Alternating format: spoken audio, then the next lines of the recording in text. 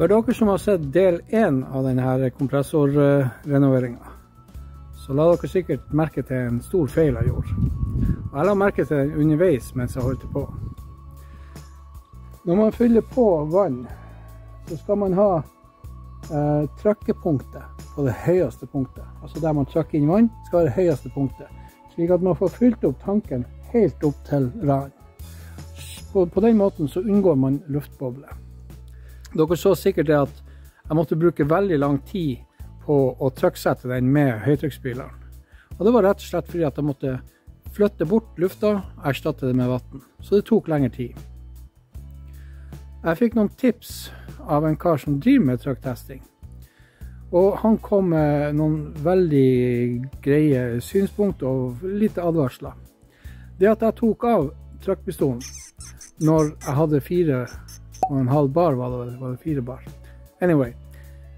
Når jeg tok av der, så kunne jeg ha skada meg sjøl, rett og slett. Trykket er såpass stort. Så han sa ikke gjør det, det er ikke lurt. Det kan føre til skader. Eh, en annen ting han sa når det gjelder trykkeprosessen, så er det det å passe seg for blindeplugger. Eh, trykktanken kan tåle trykket. Trykktanken kan tåle 16 bar, men det er ikke sikkert at blindpluggene tåler det. Nå bruker jeg i hovedsak eh, plugger ment for hydraulikk, men det er noen plugger som ikke er det. Så det kan være greit å, å ha i tankene, og ikke bevege seg rundt der som pluggene er. For skyter pluggen ut, så er det med ganske stor kraft. Og da er du kanskje uheldig og får dem i ballene, f.eks. Det gjør jo kjent veldig vondt, og du blir fort en sopran. Og det er jo ikke noe særlig, for et mannfolk i hvert fall. Um, når det gjelder selve det å trykke opp tanken, så sa han trykk den opp til 0,5 bar først. Og så letter du da på trykket, uh, slik at hvis du har noe luft i tanken, uh, så vil du da få ut den lufta. Jeg forsto det slik at man skulle ta på det høyeste punktet og slippe ut trykket.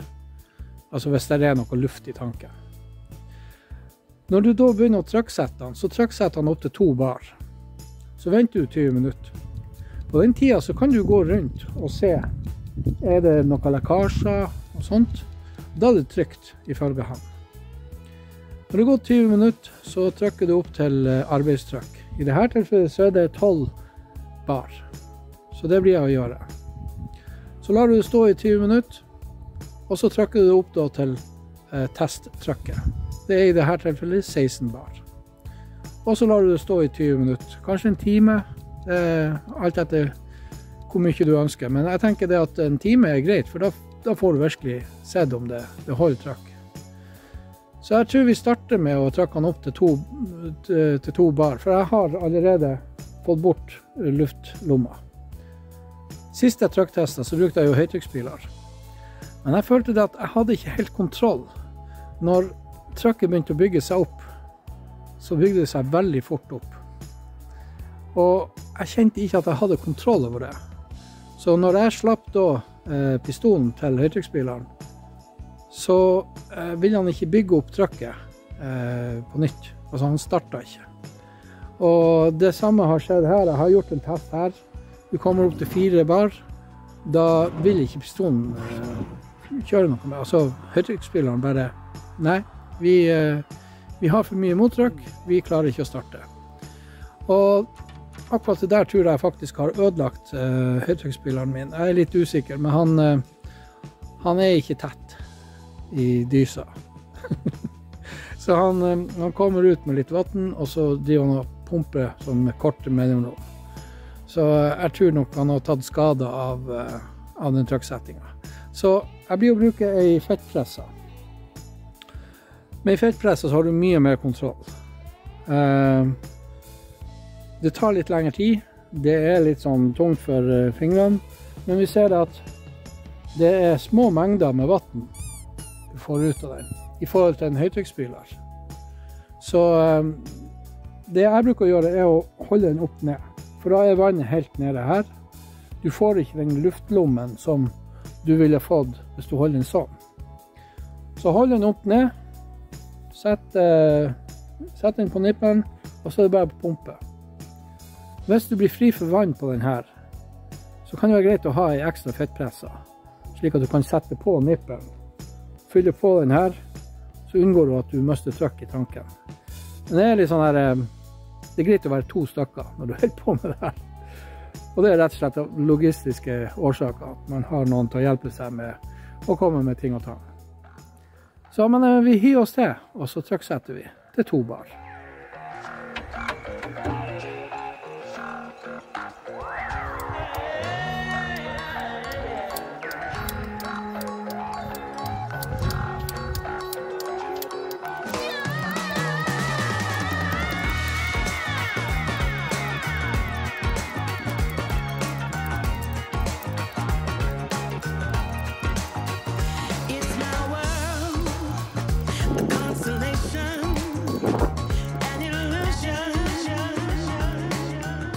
Da er vi på to bar. Mange får han til å Taking stance in mass confusion. Yeah, in this never-ending wasteland, as we hide inside a self-appointed star. Så lar vi han stå i 20 minutter.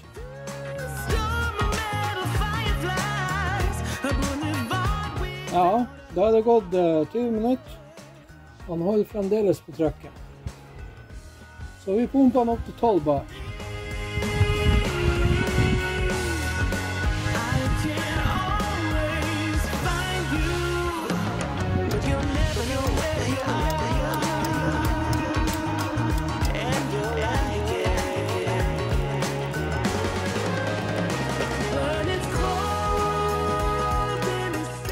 Vi er på fire you,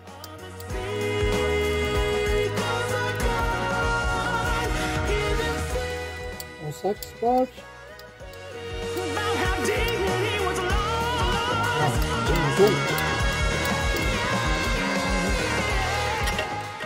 Jeg hadde en jigg og hadde den stående. a flash, Nå er vi på 8 bar. Det å stå og lene seg på tanken nå er jo ikke så veldig heldig, men uh, det her var tungt. Vi er sterke klyper i hvert fall. Med et øyeblikk.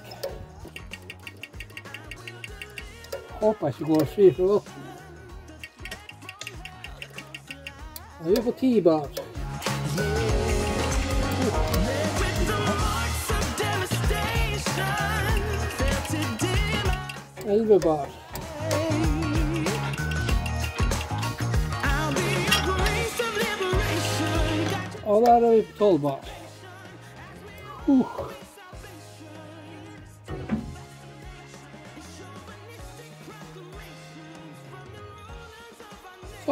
Venter vi 20 minutter. Og nå skal jeg ikke holde meg så veldig mye i nærheten av linjepluggen.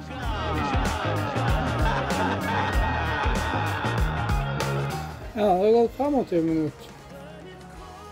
Og han holder fremdeles trøkket. trykket. Så vi fortsetter opp til 16 bar. Og der er fremdeles ingen lekkasjer, så det er jo positivt. Jeg håper bare det er nok vann igjen på.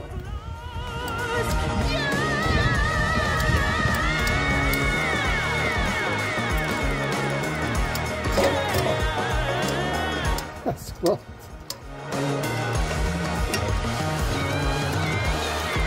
Vi er på 14 bar.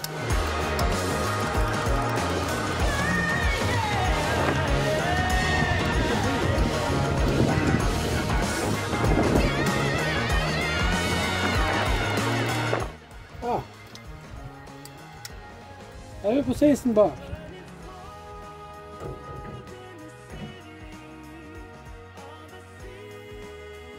Nå skal han få lov å stå en time.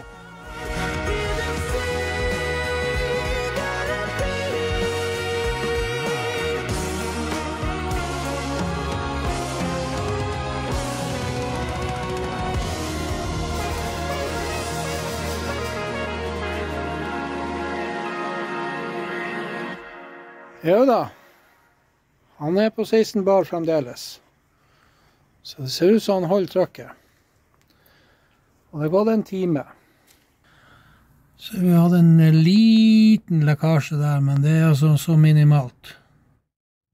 Ja, det var suksess. Da har vi en tank vi kan bruke. Da plukker vi bort eh, pumpa og motoren, og så eh, sjekker vi hvordan tilstanden er på spesielt pumpa. da.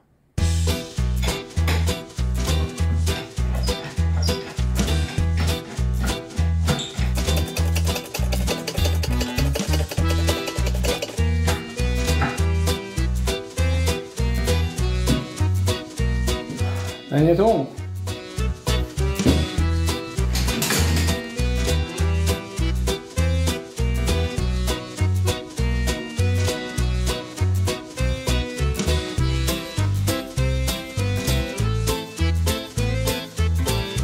Spørs om det tåler anger.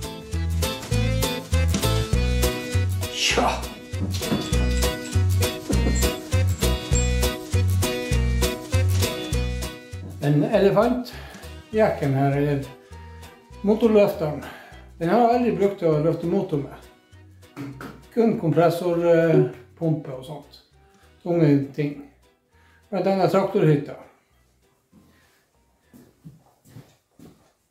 Ja, nå kommer spent. Får vi prøve å løse den her.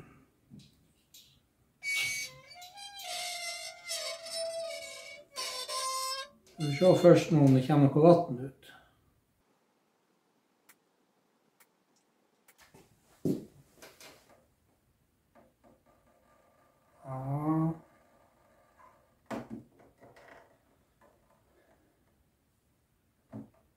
Faktisk veldig ren olje. Den lukter ikke dårlig heller. Veldig positivt. Veldig positivt. Men eh, selv om den ser bra ut, så vil jeg veldig gjerne eh, skifte den. For eh, gudene vet hvor lenge den har vært i der. Og, men den ser ikke, den ser ikke gæren ut. Så er det lite grann vann i. Men det er altså svært lite. Så er det sånn rand her.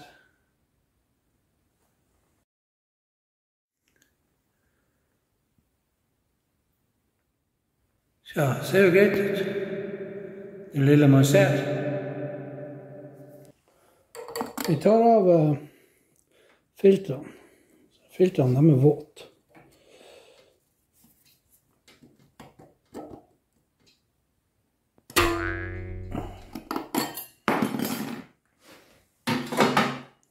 Jeg laga jo til en sånn her ring i den eh, første kompressorvideoen jeg laga til. Og det var samme type tank som, er, som vi testa i dag. Så hvis dere har lyst til å se den, så er det bare å, å kikke etter den. Jeg legger den i eh, beskrivelsen. Her er da grinda som skal ut på.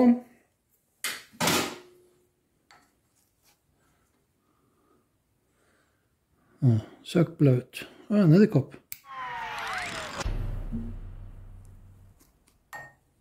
Det her er ordentlig sånn ullfilter.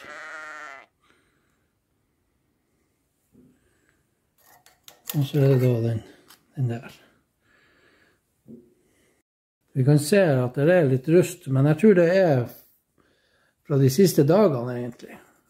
Det er ikke noe sånn Ja, det er kanskje litt gravrust her.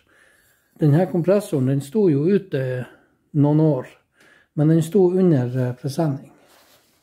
Jeg har fått spørsmål om hvordan jeg klarer å huske hvor alle bolter og sånt skal. Sannheten er det at jeg husker ikke min egen bursdag. Og jeg bruker alltid å legge bolter i poser og eh, merke dem. Her f.eks. IR 242, Ingersoll Run 242. Pumpe, eh, festebolter. Og bolter for base, festebukett, motor. Eh, for eh, dekselet, som beskytter mot reimen. Så det er greit å gjøre det slik. Det som gjenstår nå, da er jo stort sett å teste motoren. Den blir jeg å sende bortover til naboen og få han til å teste den. Eh, For han har trefasestrøm, det har ikke jeg. Så hva er konklusjonen? Jo, tanken er OK. Det er bra. Pumpa virker å være OK. Fin olje på den. Eh, litt rust her. Eh, men eh, klart, de her filtrene, de er jo De er noe blaut, så det kan være at den rusten som har danna seg her, er fra de siste dagers regnkjøl som har vært. For den her har stått uten å være tildekt nå de siste dagene. Så er det en, rørstus her som må byttes. Det er en knekk på røret. Det, det vil ikke fungere som det skal. Um, jeg blir å ta av alle rørgreiene. Jeg blir å demontere det her. eh, fikse opp den her og ja, få det greit. Skal sjekke den, den her. Den fungerer. Og uh, ja Det er litt eh, synd egentlig at den pumpa var i orden. Uh, selvfølgelig er det jo bra, men det hadde vært gøy å ta henne i kokestykker og se hvordan, hvordan det så ut innvendig. Hvordan stempelringene var, eh, om det er mye slitasje og sånt. Men det finner vi ut når vi starter pumpa. Vil den da lage trøkk, eller vil den ikke? Um, vil vi komme til å høre rådebank, eller ikke? Men uh, den spinner jo. Og det er ingen ulyder annet enn de lydene som er. Men det er ingen bankelyder, og det er jo bra. Jeg håper vi ses i neste video. Da har vi kanskje fått motoren tilbake, og vi er klare til å begynne å, montere. Men før vi begynner med det, så må jo tanken gjøres ren. Det var veldig mye rust, som dere ser på de bildene her. så jeg må grave ut eh, det som var i tanken. Jeg blir å hive inn eh, en kjetting. Sette tanken på ei vogga som jeg bruker for å rulle tanken. Og så eh, hiver jeg inn aceton. Og så ruller jeg den med kjetting inni. Så det blir en time med manuell rulling, for eh, jeg har ikke noen mulighet til å gjøre det på en annen måte. Så det blir litt arbeid, det. Men det er noe som jeg ikke blir å filme. Det er nikjedelig å se på, og det er i hvert fall kjedelig å gjøre det. Så. Men som sagt, jeg håper vi ses i neste episode. Så uh, har jeg litt mer informasjon da, og uh, kanskje er vi i gang med å montere. Hvem veit? Takk for at du så på.